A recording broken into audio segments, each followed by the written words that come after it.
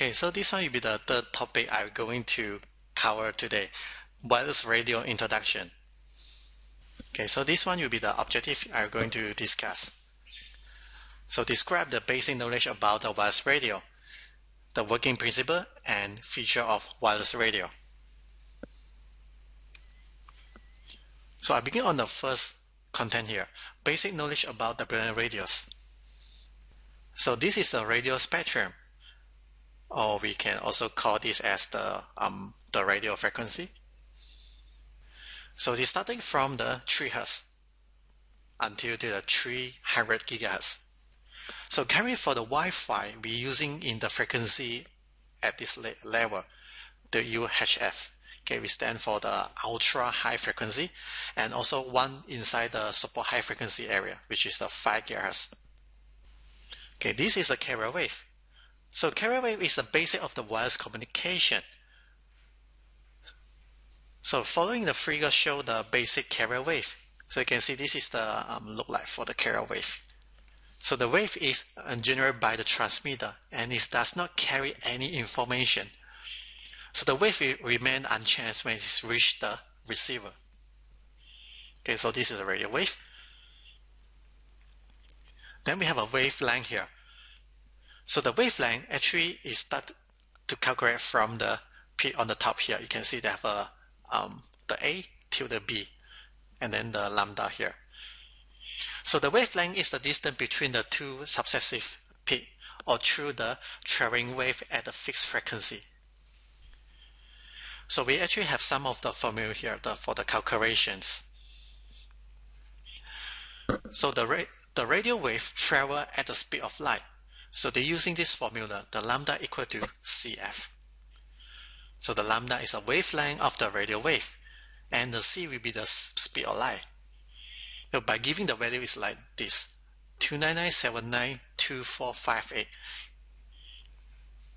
And the F will be the frequency that we're currently using.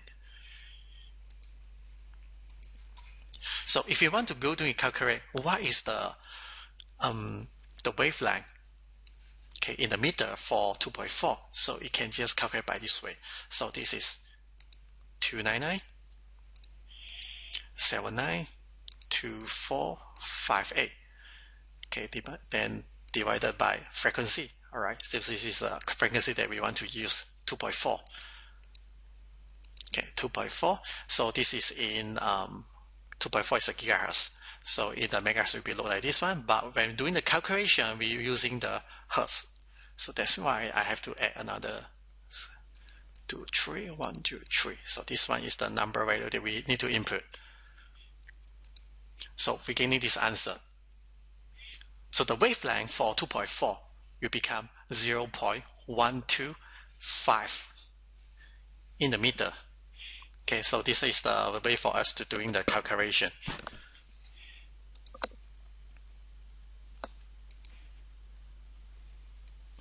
Then the next one, amplitude. So the amplitude is the longest distance away from the equilibrium position as shown in this figure, right here. Okay, this is the amplitude. The next one is the phase. The phase is a fraction of the wave cycle which is elapsed uh, relative to the origin. It's the mark of the wave location compared to the peak or truth. So this is the phase. We have a 90 degree, 180, 270, and 360. So we also can call it a phase angle. It's usually expressed as a degree or in a radian.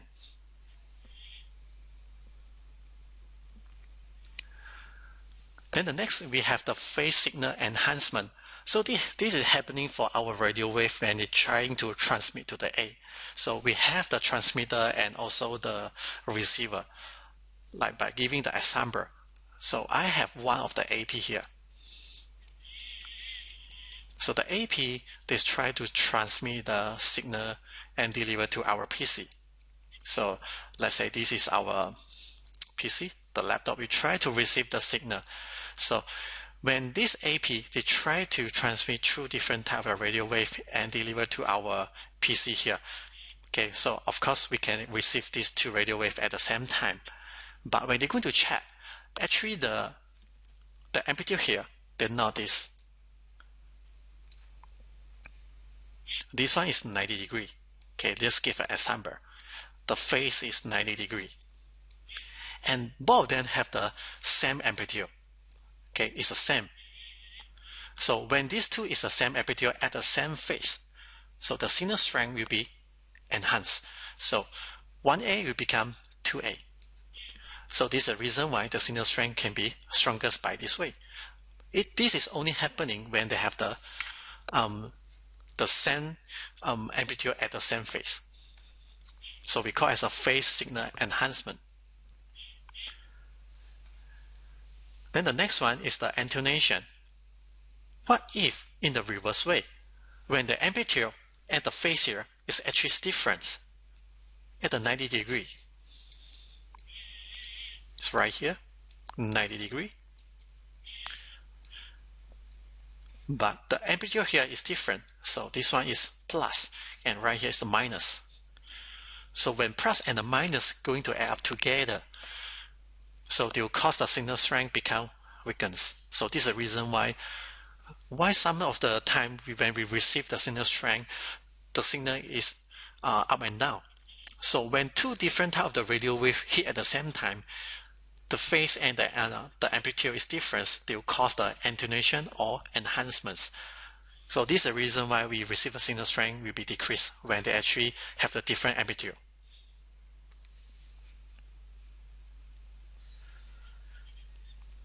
The period and the frequency. So the period is the time during which an object complete one vibration. So every single uh, radio wave, they have one vibration like this we'll call as one vibration, okay, 360 degree. So it's usually represent, uh, represented by the letter T. Okay, so this is the T right here. So this is the wavelength in the seconds. So frequency is a number of time that a vibrating object finish vibration within a second. So in one second, they can complete how many vibrating. So they're usually using the letter in F. Okay, this is the uh, Hertz. So the relationship between the period and the frequency as below. F equal to 1t. So what they're trying to explain right here is the longest the period, the slower the vibrating. By giving the graph like this one. So they have timer just some of the example only. So this is 0.5 seconds and this is 1 seconds. So now I want to send out the radio wave. They want to complete one vibrating. So they're going to take around like one second to finish. So for this kind of the vibrating, they have the, the slow um, uh, the slow frequency, okay, the low uh, frequency, what we call is. But what if they can able to complete the, the vibrating within a seconds? So I can finish the vibrating within a seconds, like this one. Half of the second, I already finished one vibrating. Then I can do another vibrating in another half and a second. So I can do two vibrating. So basically for this frequency, we call as a high frequency. Number two, the working principle of WLAN radios modulation and the demodulation.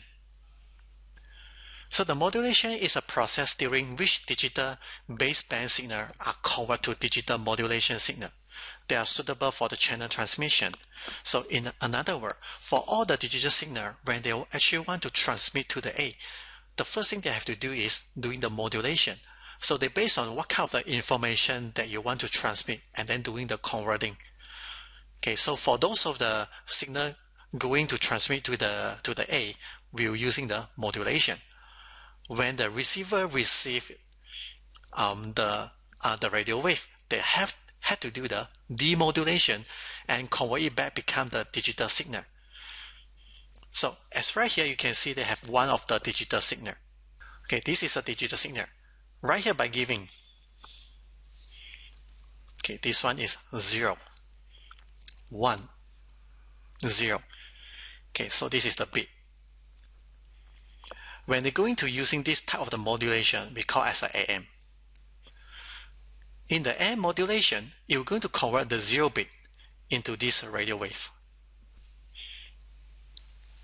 Okay, so this is happening to the AM. When they carry one bit information, so this is one bit. The one bit information, you actually notice the amplitude here. They actually increase.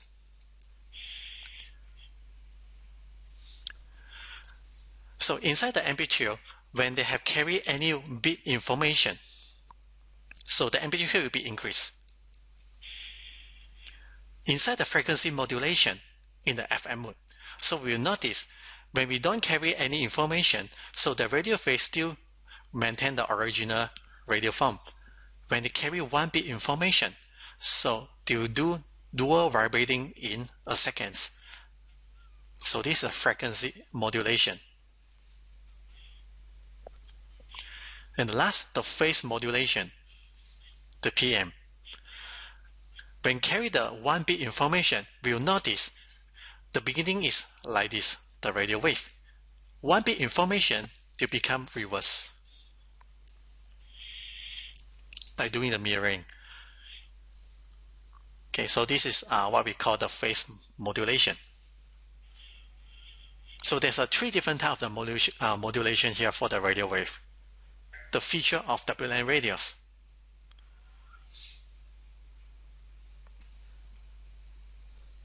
The first one is an absorption. Absorption occurs when the radio frequency signal encounter material that can absorb their, the energy during the transmission process. So this may result in the signal attenuation. As you can see from the picture here, they have the radio wave which try to pass through certain um, object. Okay, this is an obstacle. So at the beginning, my amplitude level is at, a very high level.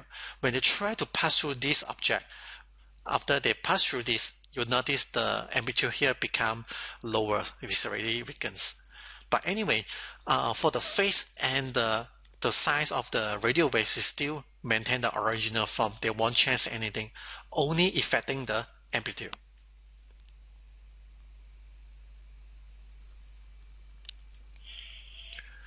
Then the next we have the refraction.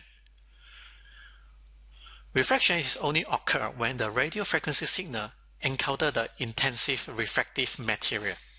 So this one will be the uh, material they will not allow those of the radio frequency to pass through. So when the, the radio, uh, radio wave hit on this kind of the material will be refract to another angle. Then the next is the scattering. When the RF signal encounter the rough or uneven material, or material composed of tiny particles, this signal might scatter in a different direction as they are refracted by the irregular tiny particle in the medium. Refraction occurs when the uh, radio frequency signal encounters the surface separating the two different media during the transmission process. Okay, as shown in the picture here. And then the diffraction occur when the signal encounters the object that cannot be penetrated or they can't even absorb it. So it's totally blocking the radio frequency to pass through. So when this object is located at the middle, then you create another bright spot on this area. So for those who try to receive a signal strength at this area, they're no longer to receive anything. Okay, because all the radio wave is already spread by this obstacle. Attenuation when the radio, uh, the radio frequency signal are sent out from the transmitter, their signal strength is reduced due to the external factor. So this is called the signal attenuation. They're always caused by many other type of the reason. Like example, the first attenuation will always caused by the cable. Okay, so depend on the how long uh, of the cable that we're using. Okay, and maybe of because of the obstacle. Some of the object when we're doing the um, the radio waves transmitting from the receiver and the transmitter and this object is just blocking in between. So they also will cause this um, attenuation and the third is a noise interference because the wireless is um, almost like anywhere. For those of the object like Bluetooth infrared even for those of the cell phone they broadcasting those kind of the signal also will cause the interference. And because of the long distance. That one will be the last one.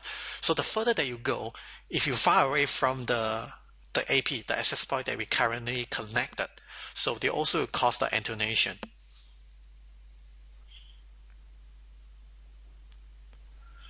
Then this is the multipath.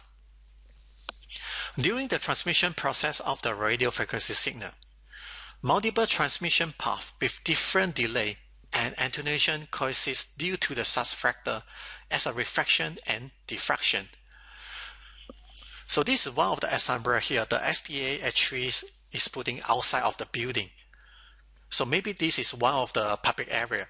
So this user is already connected to one of the um, the public AP, and he try to access to the the internet. Okay, they have a free Wi-Fi access, but at the same time, the surrounding have many other um the public building. They also provide the the Wi-Fi access. But of course, even this is not the free Wi-Fi access, but they still cause the interference.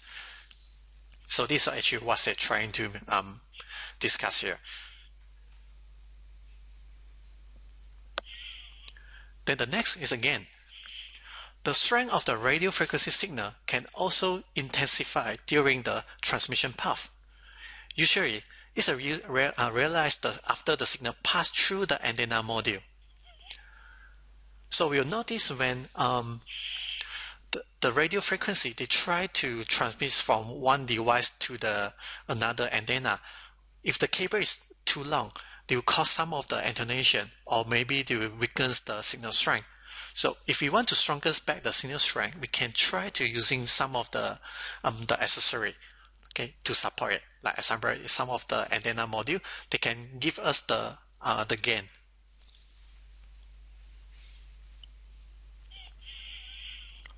And this is the Fresnel zone. So the Fresnel zone actually is located here. As you can see, this is the, the circle. Alright, so this is what we call the Fresnel zone. So this is mainly used for those of the auto deploy AP. So when doing the project for the auto deployment, so we need to do a lot of calculation. So we need to know what's the distance in between two different antenna here. The distance, okay, the, this is the distance, and height of the antenna. Okay, the height of the antenna and how strong of the antenna gain and the type of the antenna that we have to choose. So these all the things we have to concern about that when we're doing the deploy for the outdoor AP.